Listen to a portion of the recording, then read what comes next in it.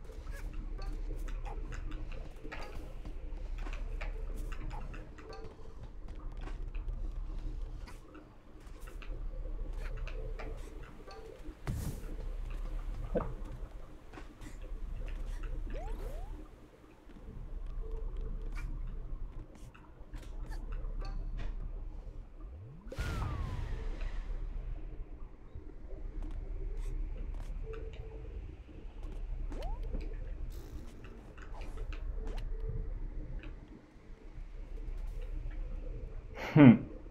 It's great, dude. I don't know if anyone's done that before, but yeah, that's a thing.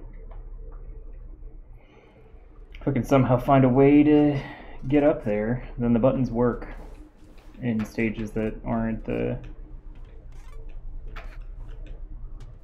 stages that aren't down with the mafia. Granted, I don't even know if it would be uh, if it would be worth, but it might be worth.